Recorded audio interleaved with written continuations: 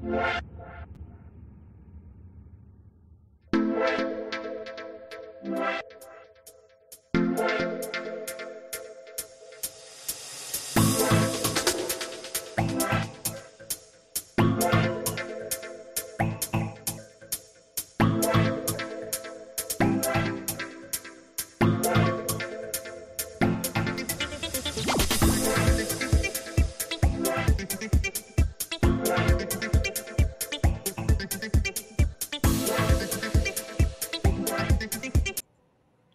Hey guys, give me one second. Well, good morning, everybody. And it's Pastor Randy here with Believers in Christ Fellowship and Made Free Church. I hope you guys are having a great morning. I know I am. Uh, every morning's a great morning when you wake up with Jesus, right?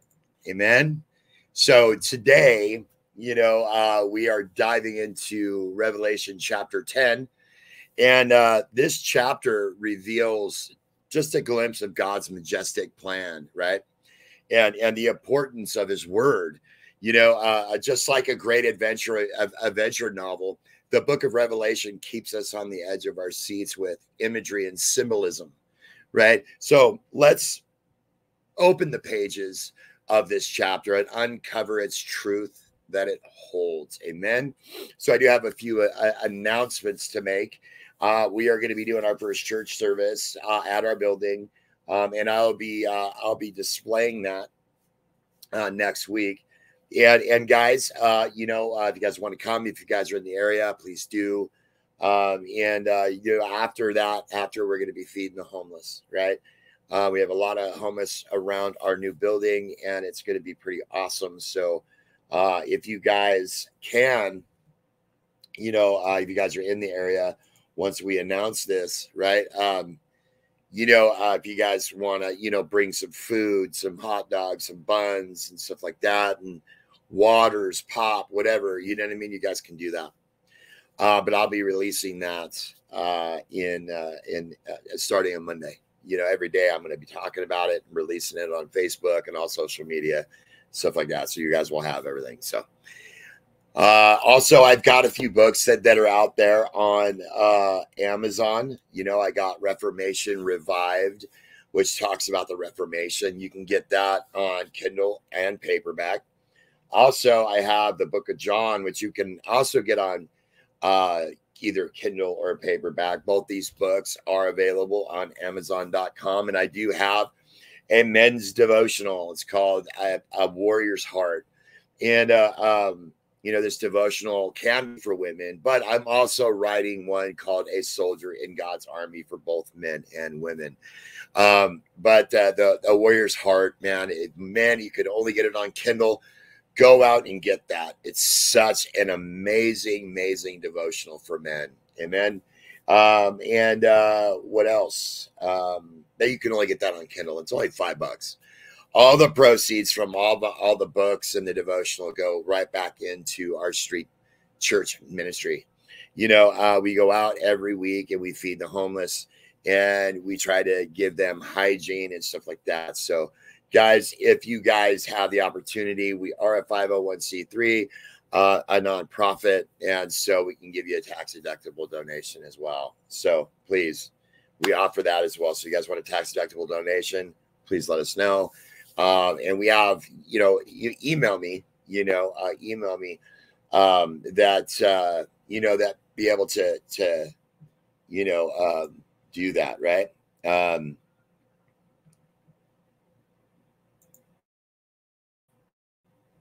oh, okay. Dang it. Dang it, dang it, dang it. I messed up.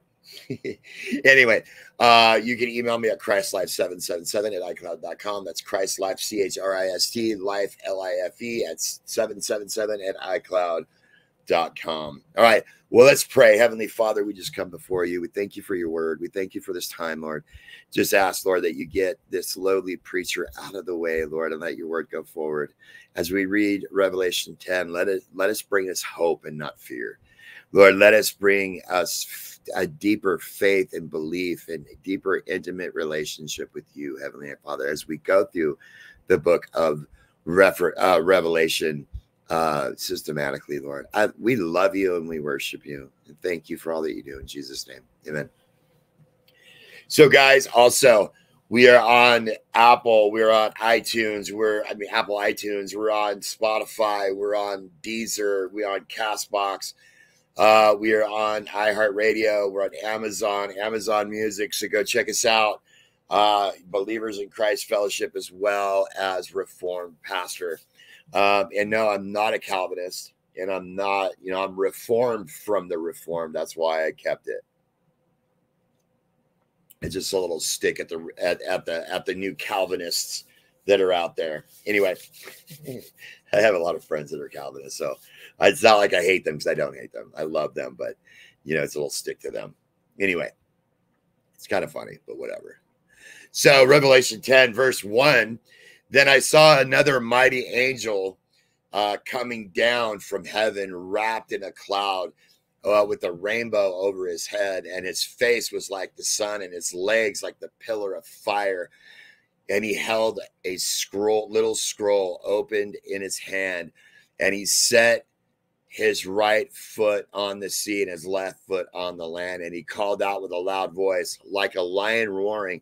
He called out, The seven thunders sounded. And when the seven thunders sounded, I was about to write what I heard. Uh, I was about to write, but what I heard, but I heard a voice from heaven saying, Seal up the seven thunders have said and do not write them down. And the angel whom I whom I saw standing on the sea and on the land raised his right hand to heaven and swore by him who lives forever and ever, who created the heaven and is what in it, the earth and what is in it, and the sea that is what in it, and that there would be no more delay. But the days, but in the days of the trumpet call to be sounded by the seventh angel, the mystery of God would be fulfilled, just as he announced to his servants, the prophets. Then the voice that I heard from heaven spoke to me again, saying, Go, take this scroll um, that is uh, open in the hand of the angel who is standing on the sea and land. So I went to the angel and told him to give me the little scroll. And he said to me, Take it it will make uh, take take and eat it. It will make your stomach bitter, but your mouth, but in your mouth it'll be sweet as honey. And I took the little scroll from the hand of the angel and ate it, and it was sweet as honey by my mouth. But when I ate it, my stomach was made bitter, and I was told, "You must again prophesy about many people and nations and languages and kings." Amen. Amen. And so in Revelation 10, verse 1,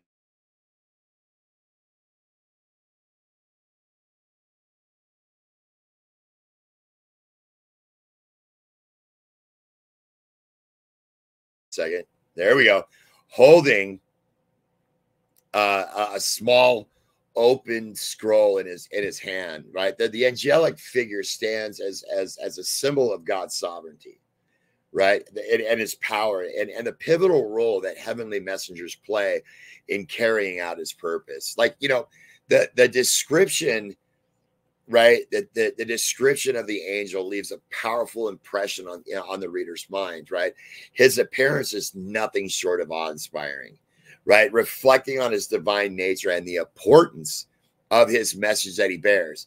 The imagery serves as a reminder of the vastness of God's creation and the celestial beings that serve him. Right? The, the presence of the angels emphasizes uh, the otherworldly nature of events unfolding in the book of Revelation. Right? The, the, the angels grasp on the little skull is a symbol of God's divine revelation unfolding plan and, and his unfolding plan for humanity right the, the scroll small size signifies the the focus and specific nature of the message contained within it the scroll is open suggesting that it contains this contents and it, it can that can the the contents are no longer concealed, but now are accessible and meant to be understood. Man, I just get so tongue tied when it comes to reading the word and, and preaching. Ah, so funny.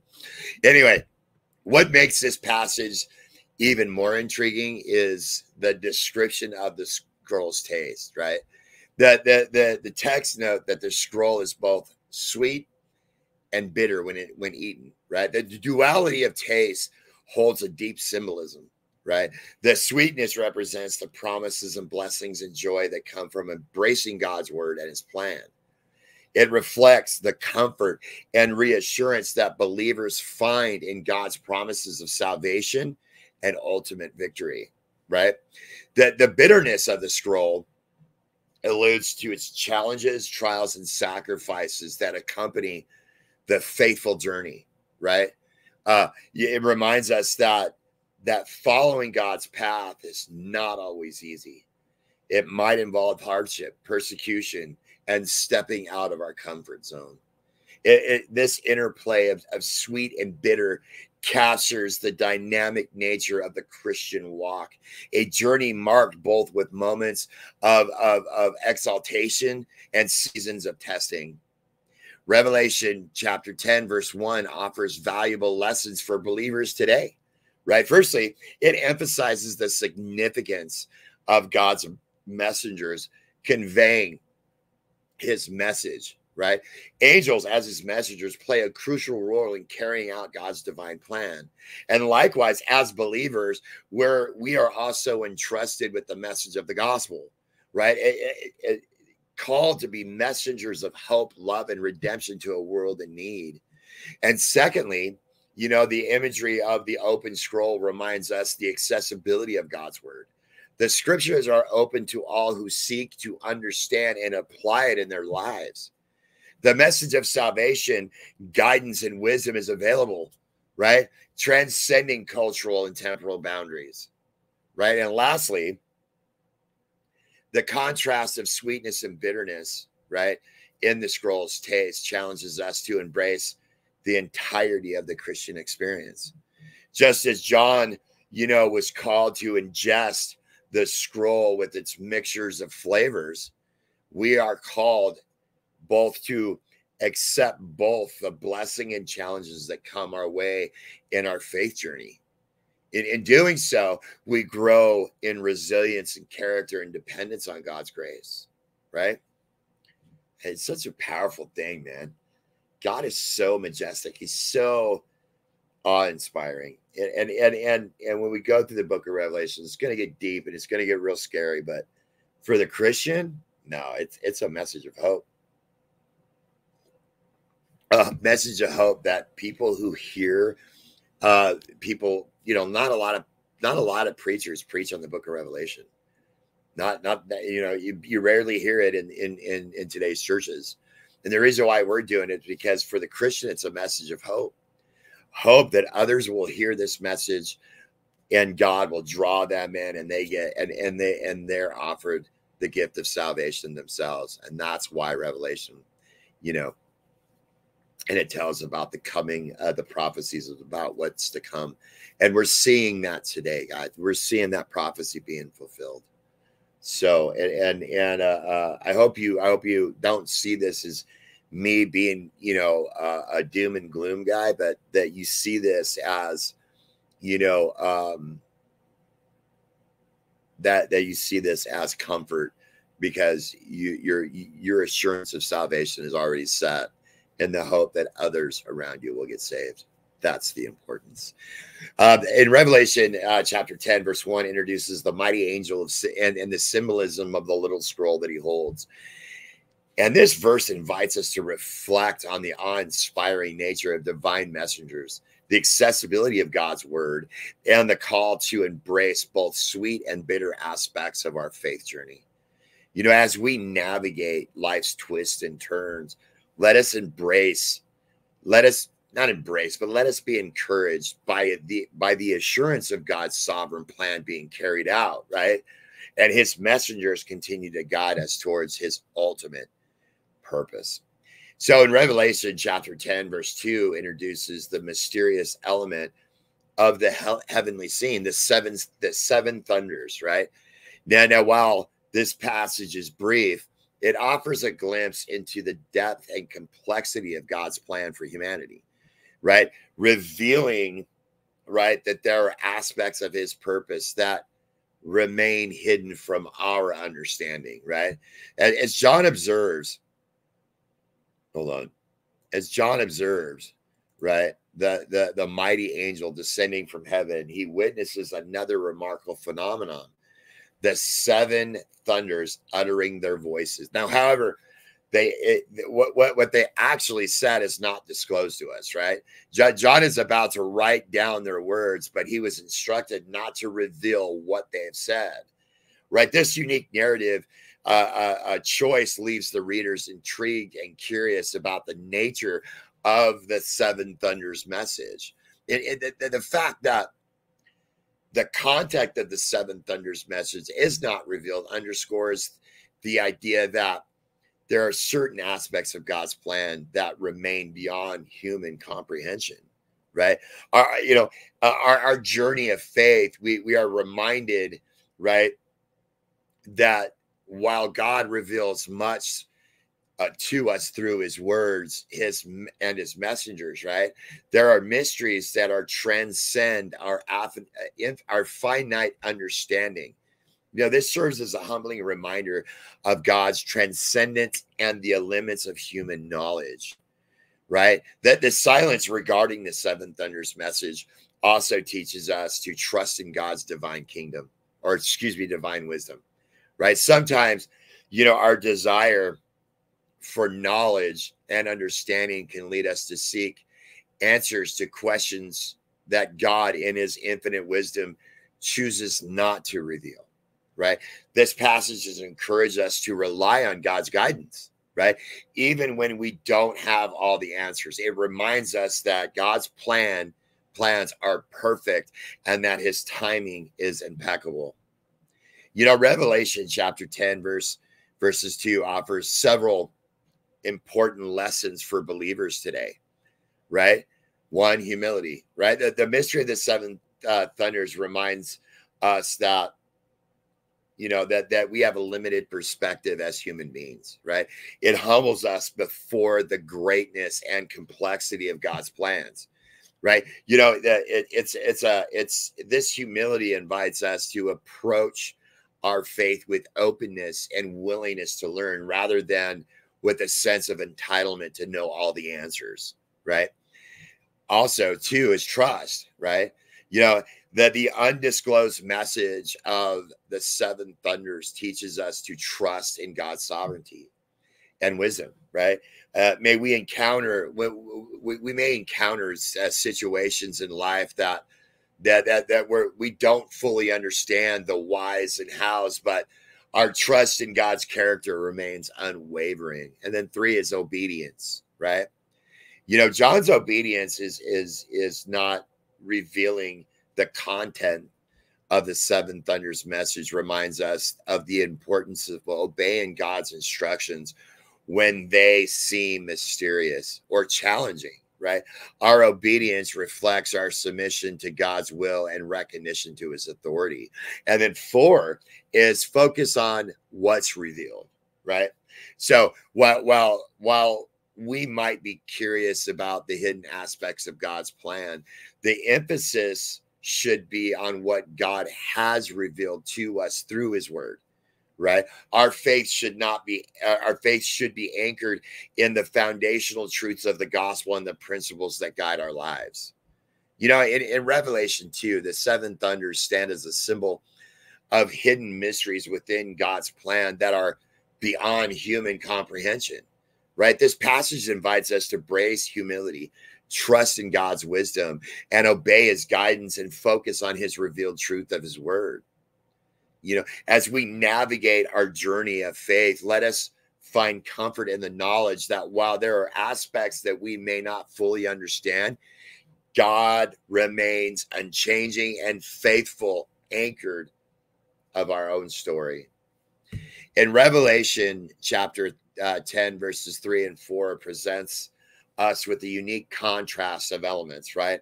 The solemn oath taken by the angel and the baffling utterances of the seven thunders, right?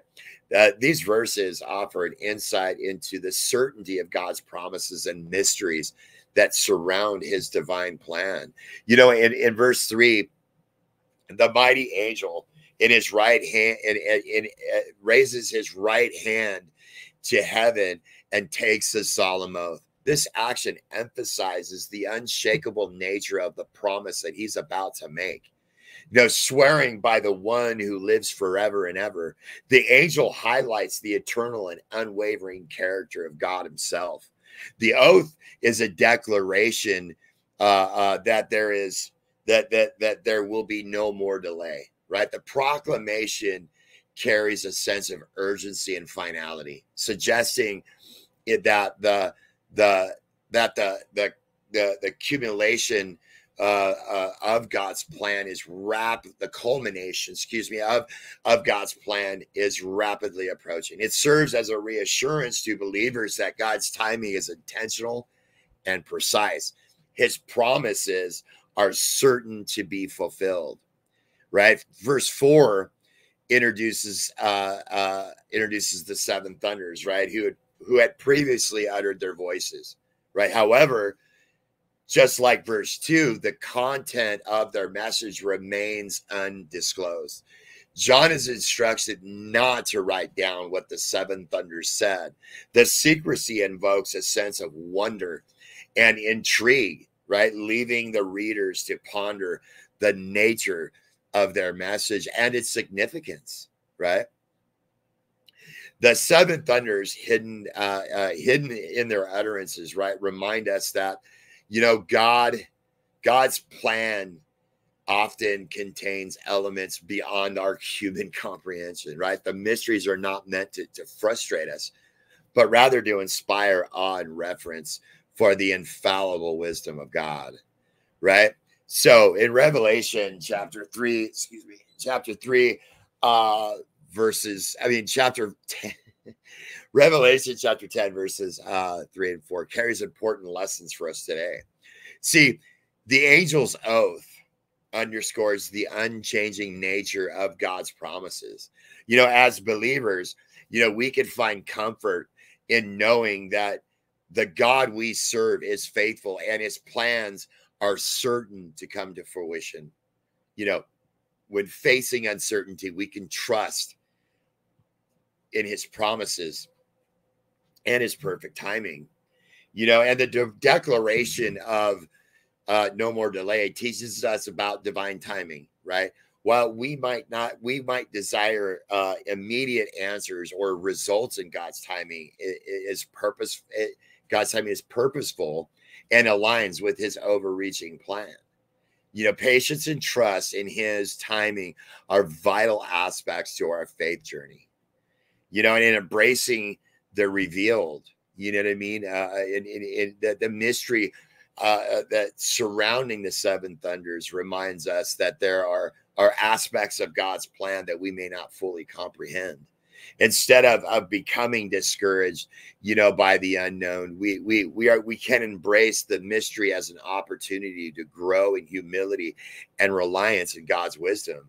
It's just as John was told, you know, not to write down the seven thunders message. There there might be times when god asks us to hold certain truth close to our hearts without fully disclosing them to others. This underscores the importance of discernment and obedience in sharing spiritual insights. And revelation you know uh, uh, uh, chapter 10 verses 3 and 4 invites us to navigate the tensions between what is revealed and what remains hidden in god's plan. You know while we are we have the privilege of knowing god's revealed truth in his word we must also respect the mystery that he chooses to keep hidden right? So in in revelation chapter 10 verses 3 and 4 unveils a scene of divine certainty and hidden ministries you know that the angel's solemn oath and the undisclosed utterance of the seven thunders reminds us of the unchanging nature of God's promises and the awe inspiring depth of his wisdom.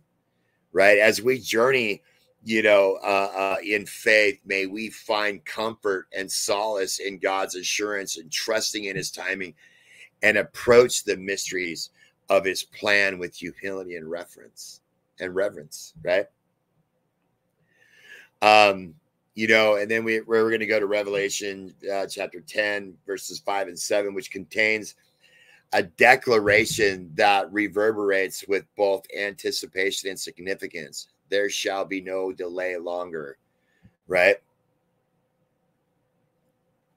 There shall be no, there shall be delay no longer, right? This verse illuminates the the culmination of, of God's divine timeline reminding us of the urgency and purpose embedded with his plan. Right. In, in verse six, the angel who stands with one foot on the sea and the other on the land, and his hands towards heaven, and swears an oath by the creator of all things. This solemn affirmation declares that there will be delay no longer. This phrase, uh, this phrase captures a powerful shift in unfolding God's plan, a transition from waiting for fulfillment, anticipation to realization, from anticipation to real, realization. You know, the, the the declaration, no more delay, indicates that the time of God's ultimate judgment and fulfillment is drawing near. Right, that it's affirmation of, of, of the imminence of the events prophesied in Revelation. This proclamation calls believers to be vigilant, prepared, and attuned to the signs of the times. And we're seeing that today, guys. We're seeing the signs of the time, right? That declaration, no more delay, has already, it, it's already coming, right? It's already coming, guys. So prepare. So, verse uh, six also contains the proclamation, time shall be no longer. This phrase is often translated, there shall be delay no longer, right? It carries a significance, right? You know, while, while it does not, it's not, it's not implying the ending of time itself. It, it signifies the apex of a certain period, but emphasizing the finality of God's divine plan, right? The announcement that time shall be no longer speaks of of the ultimate sovereignty of God over time. It's a reminder that in all moments of history are under his control and are working towards his predetermined, uh, predestinal uh, uh, pl- uh, plan and purpose, right? You know, the, the truth encourages us, encourage believers to to take to place their trust in God's overreaching plan, right? When when when when when when the world seems uncertain and chaotic, and we're seeing that today, the world is very uncertain and chaotic, right? And in verse seven reinforces the idea of the heaven uh, uh, of the idea of the hidden mysteries within God's plans, right? The angel's words pointed to a secret that was revealed to God's servants and the prophets. This mystery, mysterious aspect of God's plan is associated with the gospel and the fulfillment of his redemptive purpose, right? the mystery of, of the mystery of God as referred to in, in, in this verse underscores that you know even as god's plans unfold there always will be an aspect right beyond our complete understanding right? This invites us to walk by faith trusting in god's wisdom that surpasses our own right? It's a call to to humility acknowledging that while we may seek knowledge eh, we may seek knowledge and understanding there will always be an element uh, of mystery in our journey right? You know so you know revelation chapter 10 verses 5 and 7 offers lessons again you know uh for believers today right? The di- the declaration of no more delay serves as a reminder of the urgency of our faith right? It encourages us to live with a sense of purpose knowing that god's plan is moving towards its fulfillment. You know, our, our lives should reflect the anticipation of Christ's return and the establishment of his kingdom. And the proclamation that time shall be it reminds us to trust when we can't see the entire picture. We can have confidence that God's timing is perfect. This truth is should alleviate all anxiety about the future you know. And uh, the reference to the mystery of God reminds us that, you know, uh, uh, there is there there will be always aspects of God's plan that we may not fully comprehend. Right? This call, it, it, it, this calls us to cultivate hum, humility right? Acknowledging the limits of our understanding and approach our faith journey with a sense of wonder and curiosity. You know, in, in a world that's often values knowledge and certainty, you know, verses five and seven highlights the importance of faith. While seeking knowledge is valuable, don't get me wrong, right? Our faith ultimately rests in God's character and his promises, even when we don't have all the answers. So, you know, uh, Revelation chapter 10, verses 5 through 7 paints a picture of the significant moment in God's plan, right? A moment when delay ceases and the ultimate fulfillment of his pers- uh, purpose draws near, right? That, that this emphasis uh, uh, of the journey, that this, this emphasizes the urgency of our faith the sovereignty of God over time and the humility required to embrace the mysteries of his plan. As we navigate our faith journey, may we find hope and assurance in God's plan. Is you know that, that that that God's plan is unfolding according to His perfect timing, and that our role is to remain faithful, prepared, and attuned to His guidance in uh, Revelation chapter 10, verses 8 through 11, unveils a symbolic act with, with implications. You know, John is directed to eat the scroll held by the mighty angel. And this scene illustrates the intimate connection between believers and God's word. It conveys both the sweetness of the divine revelation and the challenges of the inherent, eh, you know, the cha- challenges, you know, that that come with and proclaiming the message uh, that it contains. Right, you know, the verse nine, the angel instructs John to take the little scroll from his hands and eat it. You know, this command might seem unusual at first, but it carries deep spiritual meaning. The act of, of eating is associated with assimilation or an internaliz- internalization and making something a part of oneself, right? In that case, John is being called to internalize and fully embrace the message of God's word, right? That so John obeys, you know, the angel's command, and he finds the scroll tastes that tastes sweet in his mouth, yet it's bitter in his stomach. The duality of taste mirrors a multifaceted nature of God's word and our Christian experience right? The sweetness reflects the joy and fulfillment found in embracing God's word, right? That eh, the just as honey is is delightful to the taste, the truths contained in scripture bring comfort, encouragement, and spiritual nourishment to the to believers. This sweetness is the assurance of God's love, promises, and salvation right? On the other hand, the bitterness signifies the challenges and sacrifices that often accompany the proclamation of the God's message. You know, just as uh, aspects of life's journey uh, are bitter, sharing uh, the gospel might lead to opposition, rejection, and, and discomfort. The bitterness reminds believers that being messengers of God's word requires perseverance, resilience, and the willingness to face adversity. You know, in verse 10, John further describes how he took the scroll from the angel, the angel's hands and swallowed it, right? You know, this action emphasizes the act of fully accepting and internalizing the message. By ingesting the scroll, John is demonstrating his commitment to embracing God's word and making it an integral part of his being. You know, and that's what we need to be doing. We need to take God's word, internalize it, and, and make it an integral part of our being, right?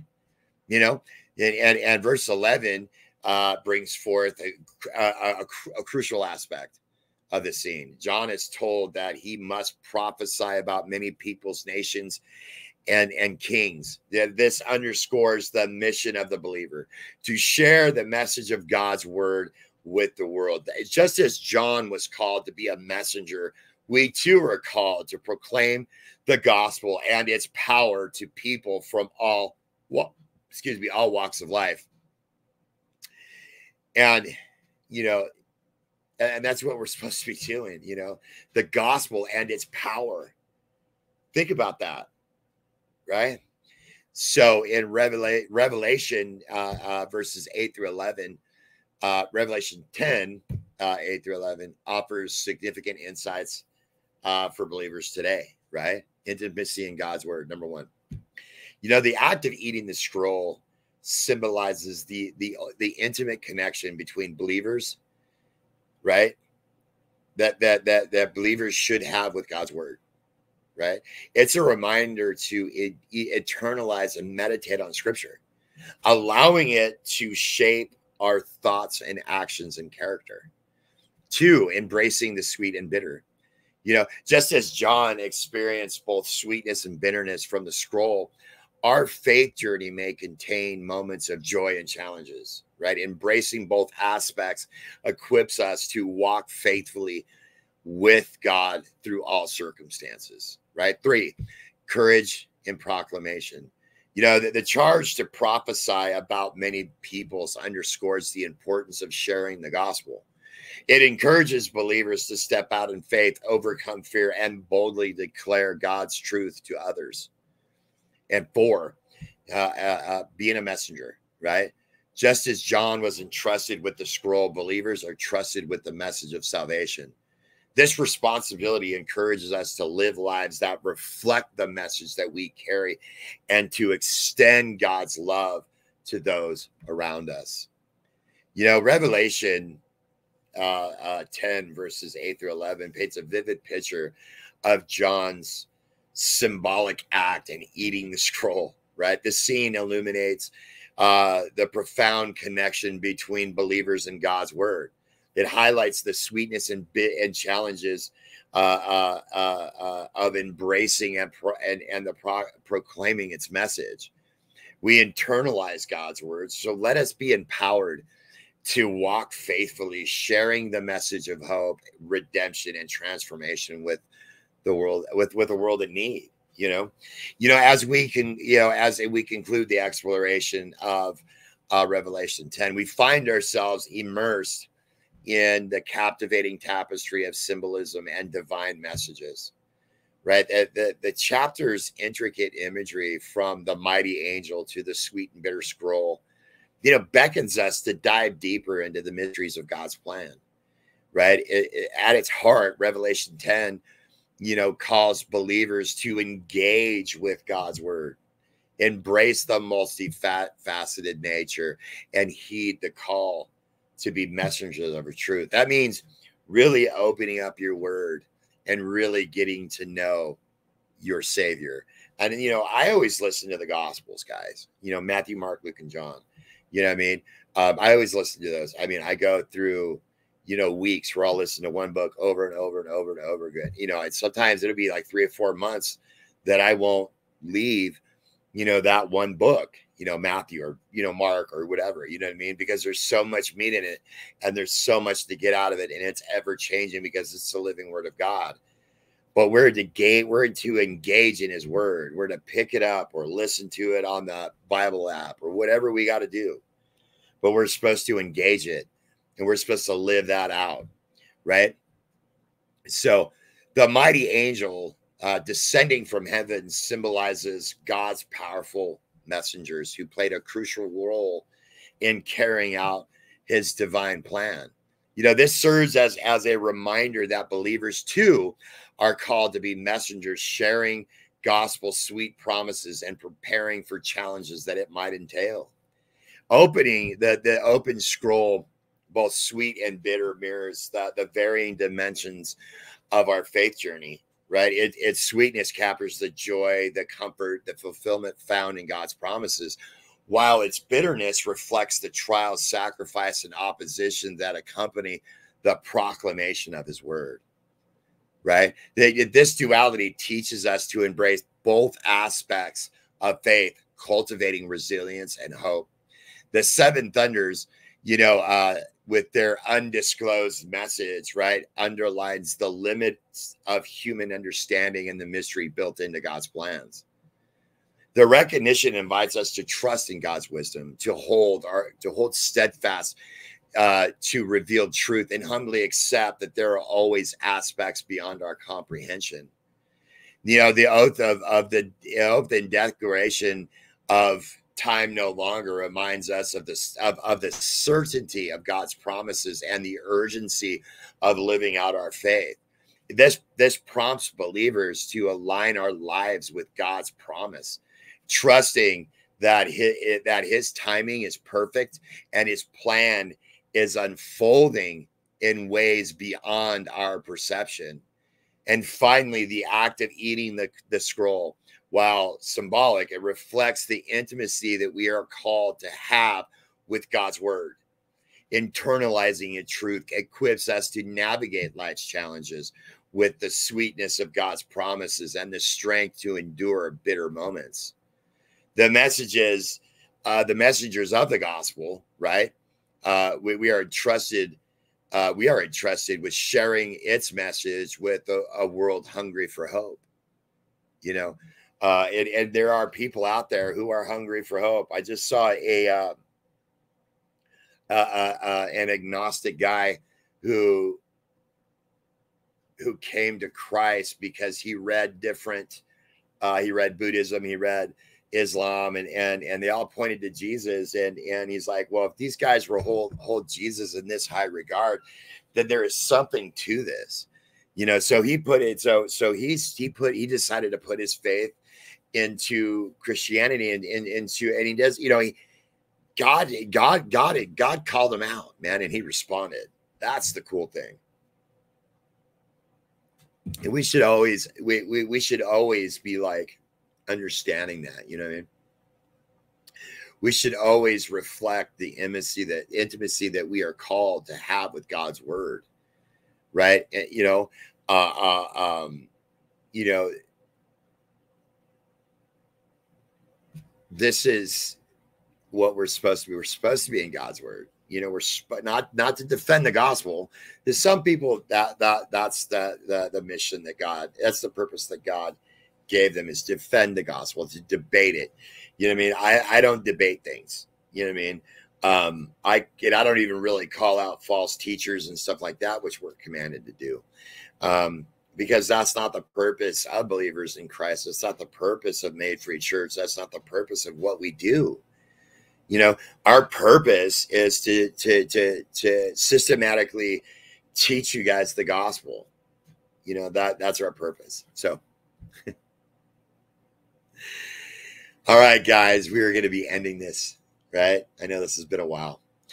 Revelation 10 invites us to engage with its rich symbolism, right? Drawing us into deeper understanding of God's plan and our role in it. You know, this chapter bridges the gap between the divine and the human, right? Offering insights into the complexities of faith and the assurance of God's promises and the mission to proclaim the truth as we journey through the pages of Revelation and on uh, uh, and our own lives. You know, may we embrace the sweet and bitter, trust in God's wisdom, and boldly proclaim His message of love and redemption to a world that so needs it right now.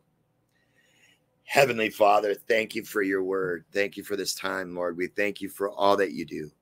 You're such an amazing dad and thank you for revealing the truths and and hiding the ones that are beyond our comprehension God has just come before you, and we just lay down our lives at the foot of your cross, and you and ask uh, and ask you to guide us and direct us um, in today's life events, Lord. That that that we'll have unwavering faith that some things we don't understand and some things we do, and we love you and we worship you in Jesus' name, Amen. All right, guys, God bless.